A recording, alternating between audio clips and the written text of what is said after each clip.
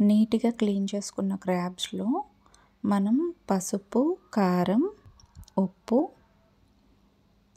Onion అల్లం వెల్లుల్లి and పచ్చిమిర్చి కలిపిన పేస్ట్ బిర్యానీ ఆకులు కరివేపాకు యాడ్ చేసుకున్న తర్వాత ఇప్పుడు మసాలా చేసుకుందాం. మసాలా కోసం గసగసాలు జీలకర్ర ధనియాల పొడి లవంగ ఇలాచి టొమాటో ముక్కలు అండ్ దాల్చిన చెక్క తీసుకున్నాను.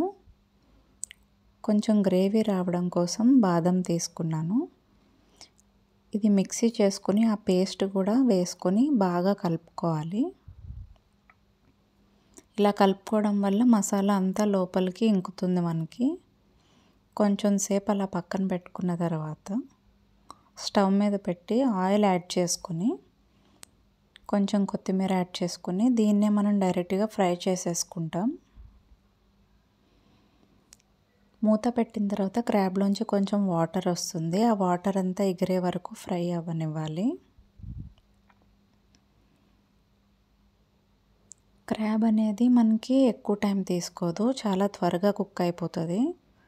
ఒక త్రీ టు ఫైవ్ మినిట్స్లో క్రాబ్ కుక్ అయిపోతుంది అన్నమాట మనకు చాలా ఫాస్ట్గా కుక్ అయిపోతుంది.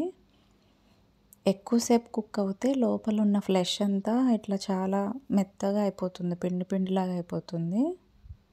సో ఎక్కువ కుక్ అవ్వకుండా చూసుకోండి. అంతే అండి రెడీ అయిపోయింది.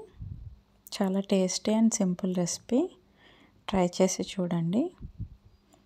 నచ్చితే కామెంట్లో పెట్టండి షేర్ చేయండి. Thank you for watching.